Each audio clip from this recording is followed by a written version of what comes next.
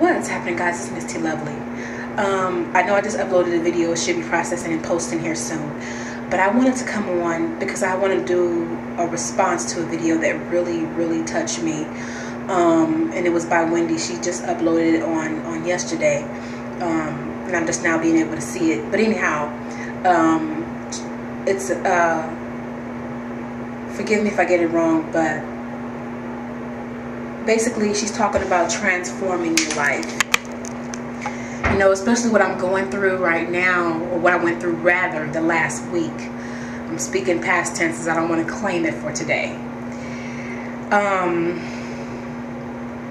she was spot on in stating to transform our lives not just focus on a number or a BMI or um, where we're going and you know that's uh, that's actually been my combatant. That's been my weapon. I never focused on a number. And you know i have to be honest um i think now that i'm getting closer to my 100 pounds i have begun i have begun to focus on that number. I, I wanted that 100 pound loss. I want it and i shall get it. But if this as i've said so many times before and it's funny how our words will come back to us to encourage us or bite us in the butt.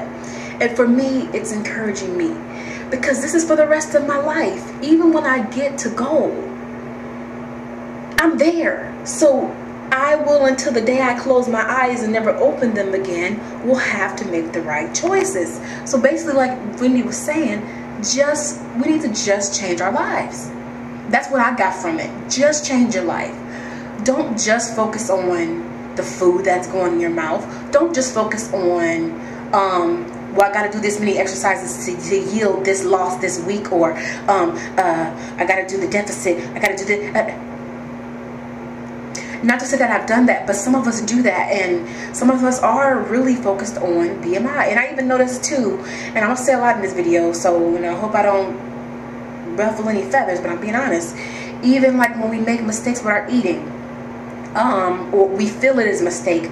You know, a lot of us feel like we have to do something so extreme to, to, to, to make up for that or, or, or, or undo what's been done. Why? Why?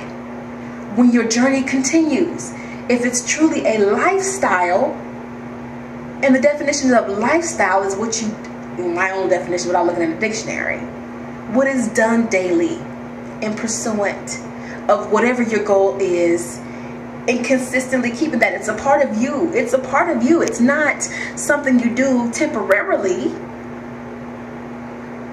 So it just really, it, it's like, so you can hear somebody say the same thing. You can even hear yourself say something, but it's not until you hear it in a different way, said in a different way, that it clicks.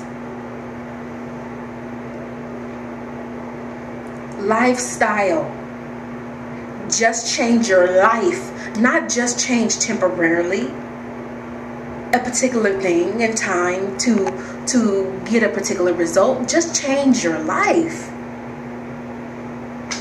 You know, so thank you, Wendy, for that. Thank you. You know, and, and I got to see you in a, a different type of uh, form. I know that you have, and I coincidentally ran across, um, you know, the emotion, the rawness, you know um, and I've always this is how I've always been in my videos. You know I give you guys everything and I don't I don't regret a thing. And you know to be honest with you guys me doing that update was a hard thing for me because I had so many things in my head but I know I needed to get it out I, I didn't want it to be um, interpreted wrong or misunderstood. And you know I can't even worry about that. This is my journey.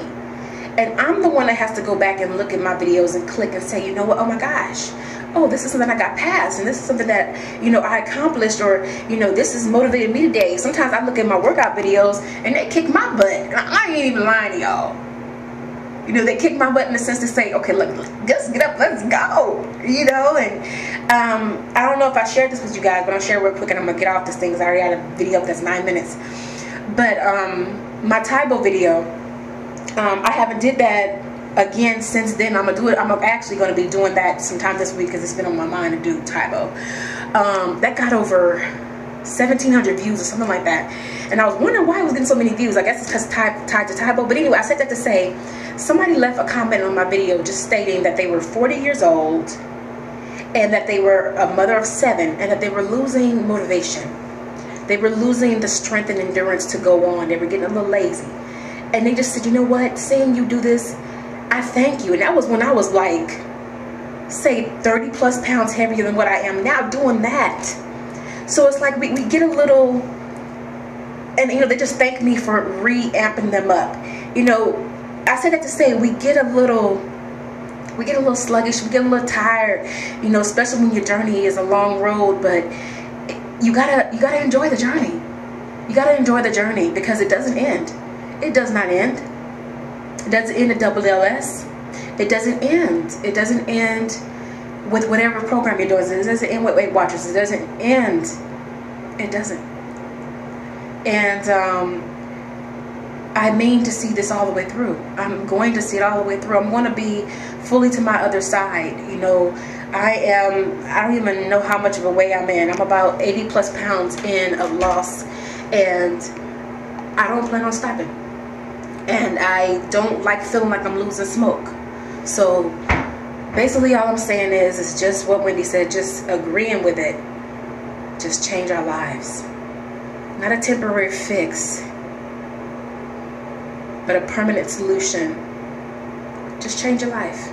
So I love you guys, and uh, thank you for watching. I will talk to you all later. I'm hitting the gym right now. Bye.